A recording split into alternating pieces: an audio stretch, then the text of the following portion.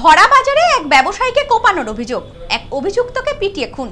ঠাকুরনগরের ঘটনায় চাঞ্চল্য। ঘটনায় জড়িত সন্দেহে সাতজনকে গ্রেপ্তার করে বনগাঁ আদালতে পাঠিয়েছে পুলিশ। ভরা বাজারে ব্যবসায়ী ও তার ভাইকে ধারালো অস্ত্র দিয়ে এলোপাথাড়ি কোপানোর অভিযোগ উঠল দুষ্কৃতীদের বিরুদ্ধে। মঙ্গলবার সন্ধ্যায় ঘটনাটি ঘটেছে ঠাকুরনগর স্টেশন সংলগ্ন বাজারে। এই ঘটনায় এলাকায় আতঙ্ক ছড়িয়েছে। অভিযুক্ত এক দুষ্কৃতীকে ধরে ফেলেন বাসিন্দারা। বাসিন্দাদের গণধোলাইয়ে মৃত্যু হয় অভিযুক্তের। একজনকে গ্রেপ্তারও করেছে পুলিশ। পাশাপাশি গণপিটুনির অভিযোগে জিজ্ঞাসাবাদের জন্য কয়েকজনকে আটক করেছে গাইঘাটা থানার পুলিশ। সূত্রে জানা গেছে, মৃত দুষ্কৃতীর নাম পার্থ সমাদ্দার।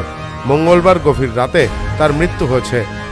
পাথর গ্রুপ যা এখন ঠাকুরনগর যেটা মানে এর আগে পরিতোষকে মার্ডার করল, এই পাথর গ্রুপ তার আগে বহু গণ্ডগোলের নায়ক পাথর গ্রুপ এবং এই মনোকে কোপালো পাথর গ্রুপ।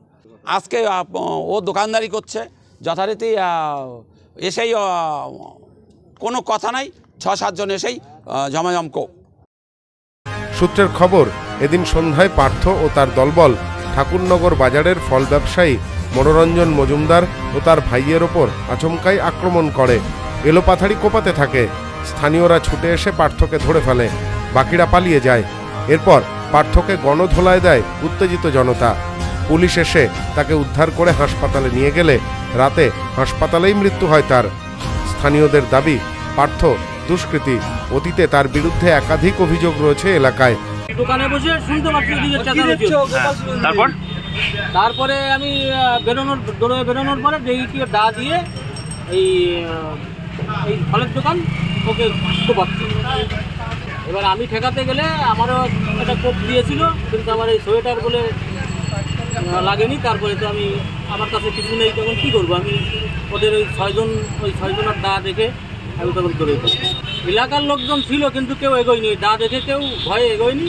ফলে পুলিশ গাড়ি আসার পরে, তারপরে তখন পাবলিক এ বিষয়ে স্থানীয় তৃণমূল নেতা নরোত্তম বিশ্বাস বলেন, রাতেই খবর পায়। বিষয়টি জানার পরই পুলিশে খবর দিই। খবর পেয়ে দ্রুত ঘটনাস্থলে আসে পুলিশ। গতকালকে আমরা পার্টি অফিসে আমাদের মিটিং ছিল, আমাদের জেলার যিনি সভাপতি উনি ছিলেন এবং আমাদের এলাকার নেতৃত্ব সকলে ছিলেন। আমরা পার্টি অফিস থেকে তখন জাস্ট বাড়িতে আসি। এর মধ্যেই আসার সাথে সাথে শুনতে পাই ওখানে গণ্ডগোল হয়, যে মারামারি হচ্ছে। আমি সঙ্গে সঙ্গে থানার বড়বাবুকে খবর মানে সঙ্গে সঙ্গে ফোন করে দিই যে ওখানে কোনো গণ্ডগোল হচ্ছে, আপনি তাড়াতাড়ি ফোর্স পাঠান। উনি সেইভাবে তৎপর হয়ে একদম নিমিষের মধ্যে, পাঁচ মিনিটের মধ্যে ওখানে পুলিশ চলে আসে। এবং পরবর্তীতে জানা যায় ওখানকার ফল ব্যবসায়ী তাকে বাইরের থেকে কোনো দুষ্কৃতি এসে তার উপর নাকি চড়াও হয়। অবশ্যই যারা এই ধরনের কাজ করে, তারা হান্ড্রেড পার্সেন্ট ক্রিমিনাল কোনো মানে শান্ত মানুষ, সভ্য মানুষ কখনো এই ধরনের আচরণ করতে পারে না। এবং ঠাকুরনগর আমরা প্রত্যেকেই জানি শ্রীধাম বলে আমরা জানি। সেই এলাকায় সেই জায়গাতে এই ধরনের মানসিকতা নিয়ে আমরা যেমন নিজেরা চলি না আমরা কাউকে চালা চলতেও দেই না। কিন্তু বাইরের থেকে হোক যেখান থেকে হোক এলাকারই হোক এই মানসিকতা এ বহুত জঘন্য মানসিকতা। এ বিষয়ে স্থানীয় বিজেপি নেতা সঞ্জীব চৌধুরী বলেন এমন দুষ্কৃতী কার্যকলাপ আগে এখানে হয়নি। ঘটনার তদন্ত করুক পুলিশ। এই যে বিষয়টা কালকে ঘটেছে এটাকে কখনোই প্রশ্রয় দেয় না, কখনো দেয়নি আর দেবেও না। ঠাকুরনগর সেরকম জায়গায় নয়।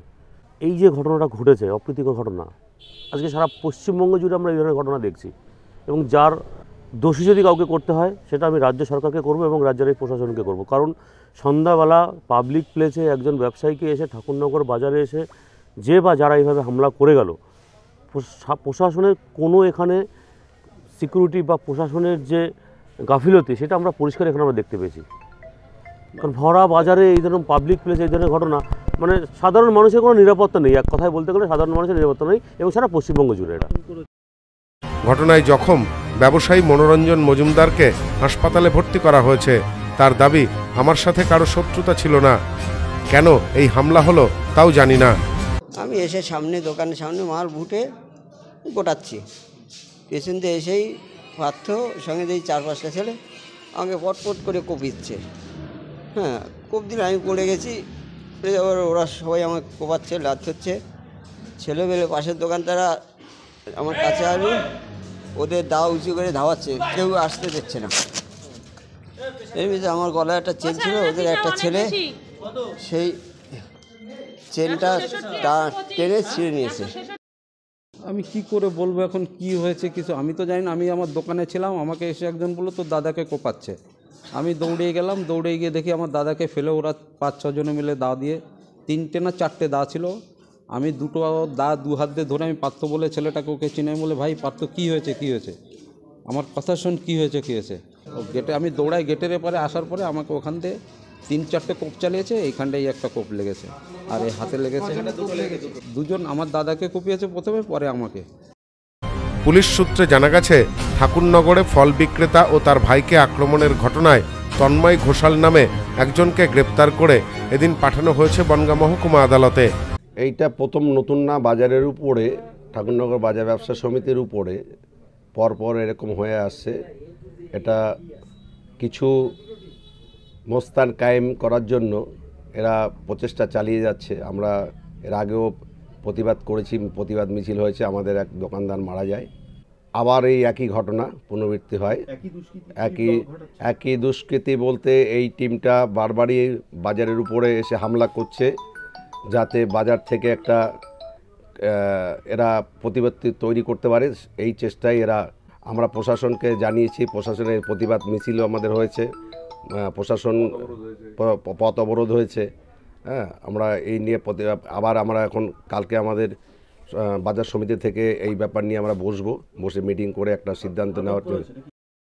অন্যদিকে পার্থ সমাদ্দারকে গণপিটুনিতে হত্যার ঘটনায় পুলিশের পক্ষ থেকে একটি মামলা রুজু করা হয়েছে।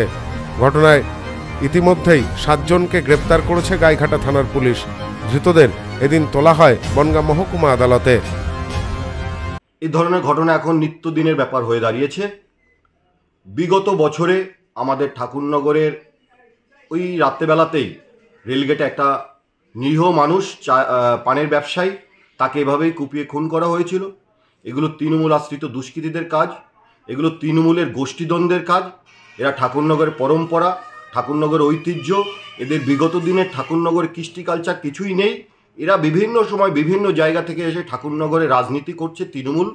এই তৃণমূল আশ্রিত এই দুষ্কৃতীরাই ঠাকুরনগরে এই ধরনের অরাজকতা তৈরি করার চেষ্টা করছে। তৃণমূলের অভিযোগ যে এই পার্থকে আগে শান্তনু ঠাকুরের সঙ্গে বাড়িতে দেখা যেত অর্থাৎ বিজেপি কর্মী হিসেবেই সে আগে অতীতে কাজ করে এসছে। এই কথাটা একদমই ভুল বলেছে যে তৃণমূলের লিডার বলেছে ঠাকুর বাড়ি হচ্ছে ধর্মীয় স্থান তীর্থস্থান সেই তীর্থস্থানে সব ধরনের মানুষ যায়। সাধু সন্ততি থেকে বিভিন্ন ধরনের মানুষ যায়। কে কখন কীভাবে কোথায় ঠাকুর বাড়ি যাবে তার দায়ভার ঠাকুররা নিতে পারে না আর আমরা বিজেপিরা অবশ্যই এই দায়ভার নেব না। সোম দাস ও সব্যসাচী ভট্টাচার্যের রিপোর্ট, নিউজ নোম্যান্সল্যান্ড ঠাকুরনগর। নারীর সৌন্দর্য শাড়িতেই সঙ্গে রয়েছে আদি মোহিনী মোহন কাঞ্জিলা